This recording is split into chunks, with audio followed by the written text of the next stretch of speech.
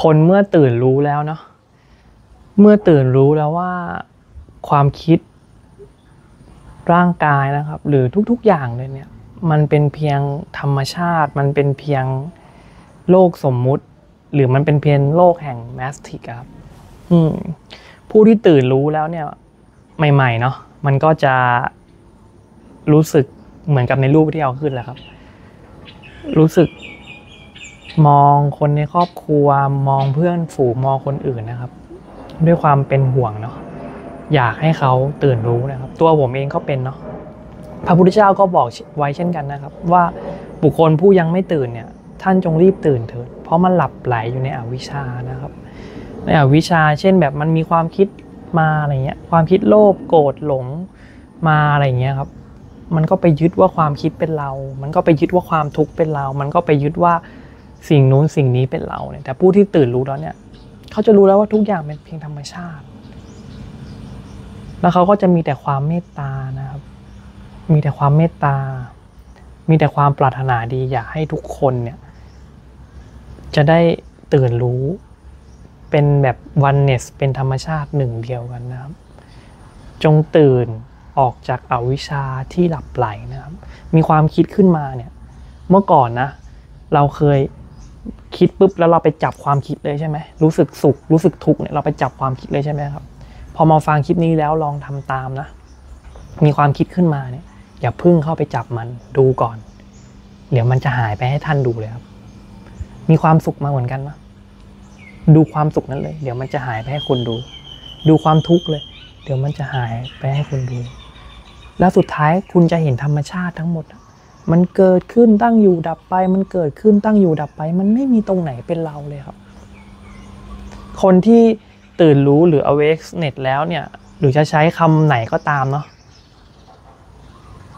มันก็คือคนที่มีความสุขเลยครับ คนที่มีความสุขมีความทุกข์มา แล้วไม่ทุกข์เพราะอะไรเขาก็รู้ว่าไอ้ความทุกข์มันก็เหมือนเราดูหนังเศร้าอะเดี๋ยวมันก็จบ ใช่ไหม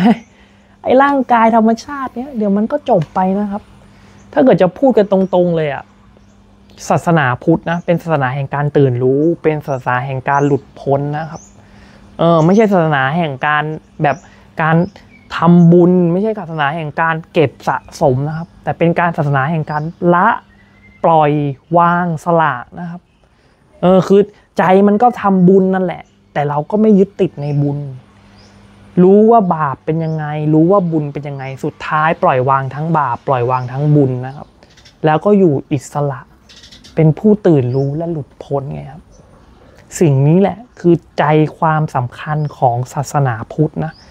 ศาสนาพุทธเป็นศาสนาแห่งการหลุดพ้นแห่งการตื่นรู้นะครับ ทุกคนต้องเข้าใจใหม่เนาะ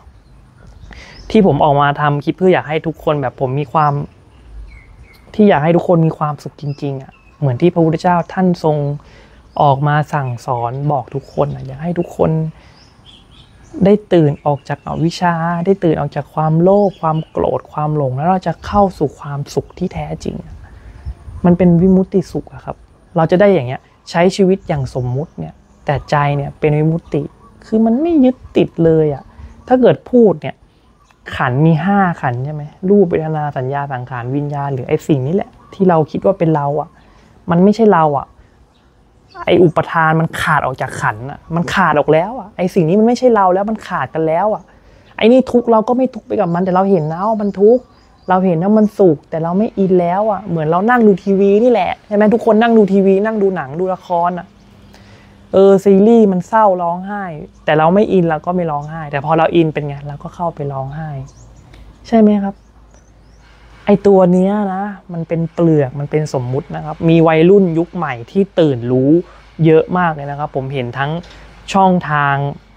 หลายช่องทางเลยเนาะแล้วผมแบบดีใจมากมันเป็นยุคแห่งยุคศิวิไลแล้วอะที่มีคนตื่นรู้ซึ่งจะใช้ศัพท์อะไรก็ได้นะจะใช้ศัพท์อะไรก็ได้คือตื่นรู้คือเข้าใจธรรมชาติ ทุกอย่างที่เราเกิดเจอที่เราเกิดขึ้นมาเนี่ยมันเป็นธรรมชาติทั้งหมดอะ ทุกคนรู้สึกเหมือนกันทั้งหมด ทุกคนเป็นสิ่งเดียวกัน ทุกคนเป็นหนึ่งเดียวกันเออ โดนแดดก็ร้อนเหมือนกัน โดนฝนก็เปียกเหมือนกันใช่ไหมหิวเหมือนกัน อิ่มเหมือนกัน รู้สึกเหมือนกันนะครับศาสนาพุทธเป็นศาสนาแห่งธรรมชาติ เมื่อคุณมีใจที่มันตื่นรู้ มีใจที่มันเป็นวิมุตติ มีใจที่มันเป็นวันเนสหรือ everything อะไรก็ได้อะคุณจะเข้าสู่ความรักที่มันบริสุทธิ์ ความเมตตาที่มันบริสุทธิ์ที่ไม่ต้องการสิ่งใดตอบแทนเลยครับ ที่ผมออกมาทำคลิปแบบนี้นะออกมาทำช่องแบบนี้ เพื่ออยากให้ทุกคนได้เข้าถึงความสุขที่แท้จริงที่พระเจ้าท่านทรงตัดสรู้นะครับ แล้วมาบอกพวกเราเนาะให้ได้มีความสุขนะครับ จากนี้ไปจนนิรันดร์ความสุขที่เป็นความสุขที่มีตลอดเลยเนี่ยมันมีตลอดนะ มันมีอยู่จริง ๆ นะครับ คือนิพพานิมุติสุข คือความสุขที่ไม่ยึดติดกับไอ้กองทุกนี้แล้วอะเห็นไหมกองทุกขันห้าเนี่ยเออขันห้าในความคิดบ้างความจำได้ใหม่รู้สัญญาต่างๆ เลยอะแค่เราดูมันนะครับ ดูไปเลยใช่ไหมดูไปเลย คิดมาก็ดูว่ามันคิดรู้ว่ามันคิดมีสติคิด คิดดีรู้คิดดี คุณก็รู้อยู่แล้ว คิดมาคุณก็รู้แล้วมันคิดใช่ไหมเห็นนั่นคิดดีฟุบหายแฟบ คิดไม่ดีขึ้นมาปุ๊บคุณก็รู้อยู่แล้วว่ามันคิดหายแฟบโกรธขึ้นมาคุณก็เห็นมันว่าโกรธหายแฟบมันก็เป็นอย่างเงี้ย สุขก็เห็นว่ามันสุขมันก็หาย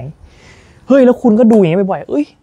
มันธรรมชาติหมดเลยนี่หว่านั่งนั่งอยู่เฉยๆมีความคิดผุดขึ้นมาโพะแล้วก็เห็นเอ้ยมันแค่ผุดขึ้นมาก็หายไป นี่ มันเป็นอย่างนี้ยครับ เนี่ยธรรมชาติที่แท้จริง เนี่ยความสุขที่แท้จริงโอ้โหคือมัน เป็นโลกุตตระนะเมื่อคนที่ได้ตื่นรู้แล้วเข้าถึงสิ่งแบบนี้นะครับ ไอสิ่งที่เราวนกันอยู่ข้างล่างอะมันคือโลกิยะนะครับ มันคือโลกิยะทั้งหมดนะเออ มันแบบเนี่ยขันห้าทั้งหมดอะมันคือส่วนของโลกิยะ มันก็วนหมุนอยู่ในวัฏฏะสงสารที่พระเจ้าบอกอะแต่เมื่อเราเราเข้าถึง เราเข้าถึงไม่ได้เข้ามันไม่ใช่ถึงเข้าถึงหรอกคือมันแค่เข้าใจธรรมชาติอะเหมือนเราเข้าใจน้ำตาลว่ามันหวานอะมันเข้าใจแบบนั้นนะ เข้าใจธรรมชาติว่าอันนี้มันไม่ใช่ เออเราก็เข้าสู่ชั้นโลกุตระเลย คือเหนือเหนือโลกเนี่ยเหนือโลกิยะ โลกิยะมันเป็นอะไรจุกจักจุกจักเราก็เห็นอยู่เออมันไม่ใช่เว้ยไม่ใช่สุดท้ายไอ้ตัวเนี้ย มันแตกสลายไปปุ๊บเราก็ไม่แตกสลายไปกับมัน เหมือนพระเจ้าบอกครับพระเจ้าบอกกับ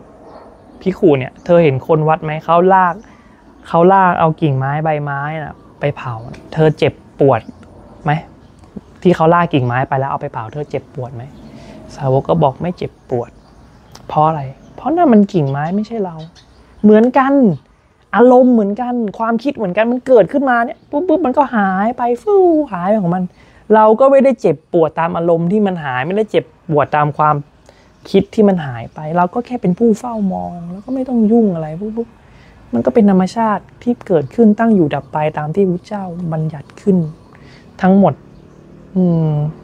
แล้วสิ่งธรรมชาติที่พระเจ้าบัญญัติขึ้นอะท่านเห็นนะจากสิ่งที่ท่านบัญญัตินั่นแหละเห็นธรรมชาตินี่แหละมันเกิดดับมันนั้นเห็นว่าเอ้ยฝนมันตกนะ มันก็หยุดแดดมันออกนะ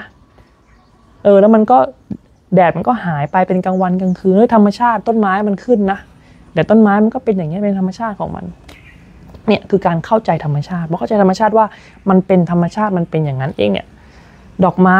ต้นไม้เป็นสีเขียว ใครไปตัดสินมันนะเฮ้ยต้นไม้ไม่ดีเป็นสีเขียวเป็นธรรมชาติ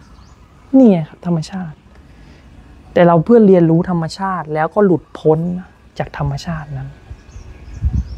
เนี่ยธรรมะแท้มันอยู่กับเราตลอดนะครับศาสนาพุทธมันเลยเป็นศาสนาแห่งธรรมะและธรรมชาติครับ